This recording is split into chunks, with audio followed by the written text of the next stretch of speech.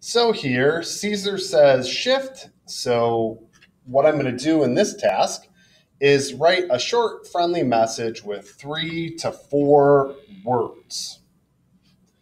So I'm going to hide this part.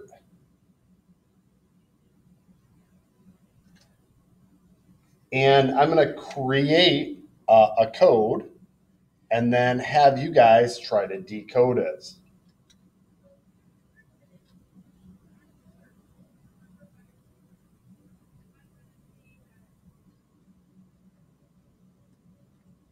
So right now I'm, I'm shifting my code.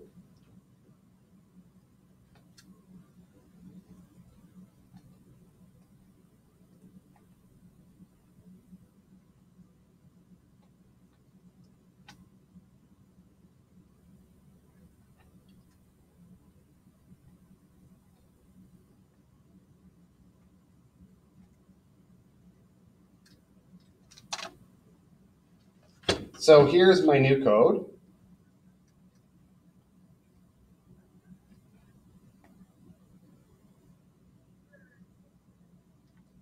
Oops. So here,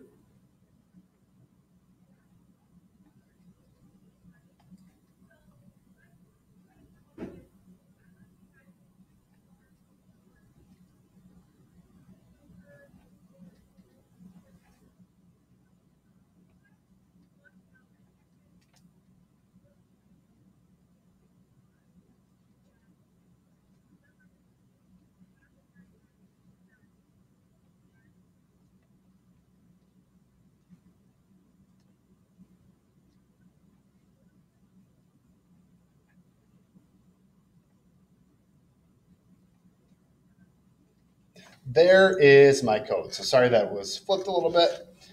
Um, and then here's the cipher that I did. So I picked a number between 1 and 10 and made a message.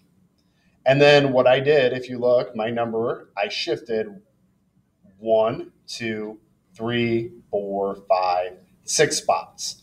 And then I wrapped A, B, C, D all the way out through Z around. And then I created a message. So you guys now can decode my message.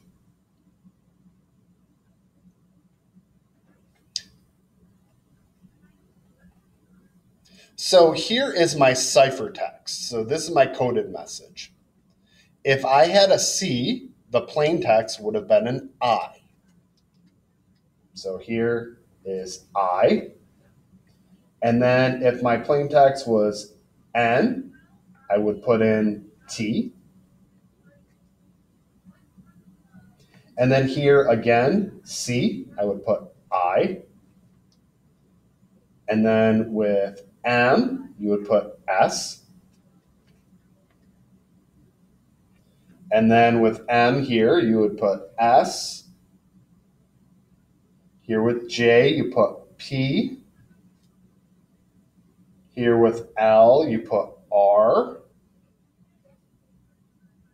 And then with C, you put I. With H, you put N.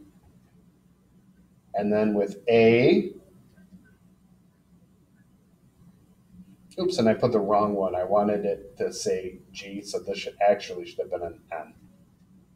So it is spring. So if you notice, this is a little bit different. So here we have our output listed, and we have to find the input. So you try that with a partner, create your message and see if you can decode it.